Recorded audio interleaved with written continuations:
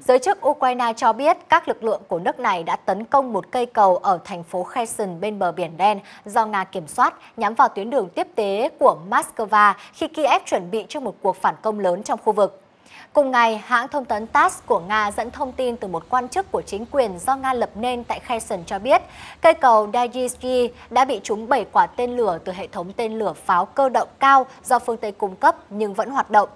Ukraine đã sử dụng vũ khí tầm xa do phương Tây viện trợ để tấn công các tuyến đường tiếp tế và kho đạn của Nga nhằm lật ngược tình thế, chiến tranh và chuẩn bị cho một cuộc phản công ở khu vực Kherson. Còn phía Nga đã chiếm được khu vực ở phía nam và phía đông Ukraine kể từ khi nước này phát động chiến dịch tấn công vào ngày 24 tháng 2 vừa qua. Thưa quý vị, Thủ tướng Australia Anthony Albanese mới đây đã kêu gọi Trung Quốc dỡ bỏ tất cả các lệnh trừng phạt chống lại Australia vì lợi ích của cả hai nước. Thủ tướng Albany nhắc lại quan điểm của chính phủ mới ở Australia, mong muốn hợp tác với Trung Quốc trong khi vẫn kiên quyết bảo vệ lợi ích quốc gia của mình, đồng thời khẳng định việc Trung Quốc dỡ bỏ tất cả các lệnh trừng phạt chống lại Australia sẽ đem lại lợi ích cho cả hai quốc gia. Quan hệ Australia và Trung Quốc trở nên căng thẳng dưới thời của cựu Thủ tướng Scott Morrison. Căng thẳng chính trị và thương mại giữa hai nước khiến một số ngành công nghiệp của Australia vào thế khó khi Trung Quốc áp lệnh trừng phạt hoặc cấm nhập hàng hóa của Canberra. Trong thời gian gần đây đã xuất hiện những đồn đại trên truyền thông Australia về khả năng Bắc Kinh dỡ bỏ lệnh cấm nhập khẩu than của Australia, một động thái được cho là bước đột phá lớn trong quan hệ Australia-Trung Quốc và sẽ là một chiến thắng cho chính phủ của Thủ tướng Albany kể từ khi lên nắm quyền vào cuối tháng 5 năm 2022. Thủ tướng Hungary Viktor Orbán mới đây cho rằng Liên minh châu Âu cần một chiến lược mới về cuộc chiến ở Ukraine vì các lệnh trừng phạt chống lại Nga đã không có tác dụng. Theo đó, Thủ tướng Orbán, người đã tái đắc cử nhiệm kỳ thứ tư liên tiếp vào tháng 4 vừa qua khẳng định Hungary, một thành viên NATO, sẽ đứng ngoài cuộc chiến của nước láng giềng Ukraine. Ukraine sẽ không thể giành chiến thắng trong cuộc chiến theo cách hiện nay và cần tìm kiếm các cơ hội cho các cuộc đàm phán hòa bình giữa Nga và Ukraine. EU cần có một chiến lược mới tập trung vào các cuộc đàm phán về hòa bình thay vì chiến thắng trong cuộc chiến.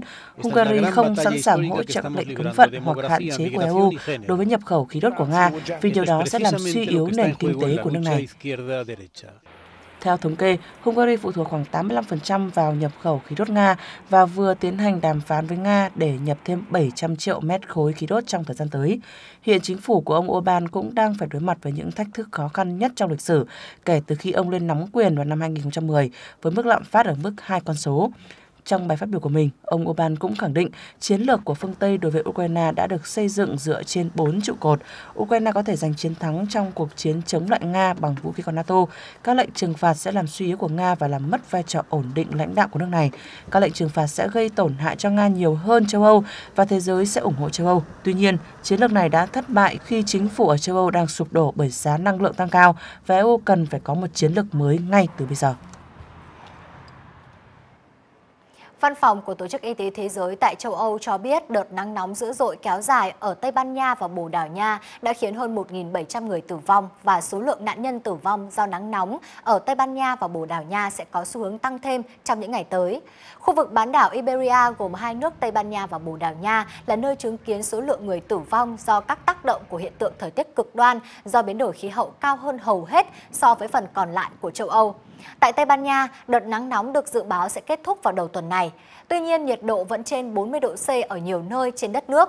Ở Bồ Đào Nha, nhiệt độ tại thành phố Leria vào tuần trước đã ghi nhận ở mức cao kỷ lục gần 45 độ C. Theo các hãng truyền thông Tây Ban Nha, đất nước này đã chứng kiến các đợt cháy rừng tồi tệ nhất trong năm nay do sóng nhiệt càn quét. Cháy rừng hàng loạt đã phá hủy hơn 197.000 ha rừng ở Tây Ban Nha trong 7 tháng đầu năm nay. Thưa quý vị và các bạn, Bộ trưởng Cơ sở Hạ tầng Ukraine Oleksandr Kubrakov cho biết nước này sẽ tiếp tục chuẩn bị cho hoạt động xuất khẩu nông sản từ các cảng ở Biển Đen, bất chấp việc xảy ra cuộc tấn công tên lửa vào cảng Odessa. Trong khi đó cùng ngày, Bộ Quốc phòng Thổ Nhĩ Kỳ đưa tin Nga thông báo với Ankara rằng họ không liên quan đến cuộc tấn công vào cảng này. Theo Bộ trưởng Quốc phòng Thổ Nhĩ Kỳ, ông cũng đã có các cuộc điện đàm với người đồng cấp Ukraine và Bộ trưởng Cơ sở Hạ tầng Ukraine, người đã ký thỏa thuận về xuất khẩu ngũ cốc tại Istanbul. Các quan chức Ukraine đã thông báo cho ông Anka biết về cuộc tấn công tên lửa vào một trong những điểm bốc hàng ở cảng và không có hậu quả nghiêm trọng nào. Trước đó, ngày 22 tháng 7, Nga, Ukraine, Thổ Nhĩ Kỳ và Liên Hợp Quốc đã ký thỏa thuận về việc xuất khẩu ngũ cốc của Ukraine từ các cảng Biển Đen vốn bị ngăn chặn ở đó sau khi Nga bắt đầu chiến dịch quân sự đặc biệt. Ngoài ra, Nga và Liên Hợp Quốc đã ký bản ghi nhớ về việc xuất khẩu các sản phẩm nông nghiệp và phân bón của Nga. Tuy nhiên, không có văn bản chung nào được ký kết giữa Nga và Ukraine. Tổng Giám đốc Tổ chức Y tế Thế giới WHO Tedros Adhanom Ghebreyesus cho biết, đợt bùng phát bệnh đậu mùa khỉ đang lan rộng đến hơn 70 quốc gia là một tình huống bất thường và hiện được coi là tình trạng khẩn cấp toàn cầu. Theo ông Ghebreyesus, đợt bùng phát đã lan nhanh khắp thế giới thông qua các phương thức lây truyền mới mà chúng ta hiểu quá ít. Tuyên bố được ông Ghebreyesus đưa ra dù thiếu sự đồng thuận giữa các chuyên gia trong Ủy ban khẩn cấp của WHO. Đây là lần đầu tiên người đứng đầu cơ quan y tế Liên Hợp Quốc có quyết định như vậy. Ở châu Phi, bệnh đậu mùa khỉ chủ yếu lây lan sang người từ các động vật hoang dã bị nhiễm bệnh như là động vật gặm nhấm. Các đợt bùng phát thường không vượt qua biên giới. Tuy nhiên, nhiều quốc gia châu Âu, Bắc Mỹ ghi nhận bệnh đậu mùa khỉ đang lây lan ở những người không có liên hệ với động vật hoặc du lịch châu Phi gần đây. Trung Quốc là một trong những quốc gia cuối cùng trên thế giới vẫn còn áp dụng chính sách Zero Covid, nghĩa là không Covid-19. Điều này đồng nghĩa với việc quãng thời gian người dân Trung Quốc phải sống dưới lệnh phong tỏa dài hơn rất nhiều so với các quốc gia khác. Vậy phải làm gì để giải tỏa cảm giác bức bối trong thời kỳ đại dịch? Nhiều chị em phụ nữ Trung Quốc đã tìm ra câu trả lời rất bất ngờ từ bộ môn trượt ván. Với đôi chân vững chắc trên tấm ván trượt, chị Tua Lan di chuyển khéo léo trên con đường vắng vào một buổi chiều mùa hè. Chị là thành viên ban tổ chức lớp học lướt ván miễn phí hàng tuần cho phụ nữ trên đoạn đường gần Trung tâm Thủy sinh Quốc gia nổi tiếng ở thủ đô Bắc Kinh của Trung Quốc. Chị cho biết số học viên của lớp đã tăng từ hơn chục người vào cuối tháng 4 lên gần 1.500 người. Ban đầu tôi thực sự không nghĩ nhiều về việc tạo ra một cộng đồng phụ nữ chơi lướt ván. Tuy nhiên, ý tưởng này đã thu hút được nhiều người, khiến cộng đồng gia tăng số lượng một cách nhanh chóng. Surf skating, một phiên bản trượt ván thân thiện với người mới chơi, sử dụng cụ bánh trước linh hoạt hơn, được gọi là xe tải, để có thể tạo ra những cú ngoặt sâu giống như lướt ván, đã bắt đầu xuất hiện ở các thành phố của Trung Quốc kể từ mùa xuân, đặc biệt là ở phụ nữ. Nhiều người coi môn thể thao này như một thú vui khi dịch Covid-19 kéo dài, khiến việc đi du lịch trở nên khó khăn. Tôi nghĩ trượt ván đang có tác động tích cực lên công việc của tôi, thậm chí là cuộc sống của tôi. Qua môn thể thao này, chúng tôi muốn khám phá nhiều hơn về chính bản thân mình. Được là chính mình quan trọng hơn định kiến của thế giới về chúng tôi. Số lượng tìm kiếm trực tuyến về trượt ván nói riêng và surf skating nói chung ở Trung Quốc đã tăng vọt. Tại một cửa hàng ván trượt ở Bắc Kinh, doanh thu đã tăng khoảng 300% trong năm nay.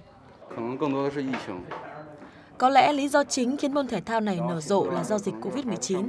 Trẻ em cũng không phải đến trường, nên các phụ huynh mua ván trượt để cả nhà cùng tham gia.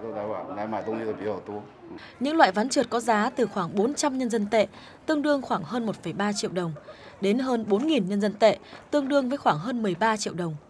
Khoảng 70% doanh thu các cửa hàng ván trượt đến từ phụ nữ.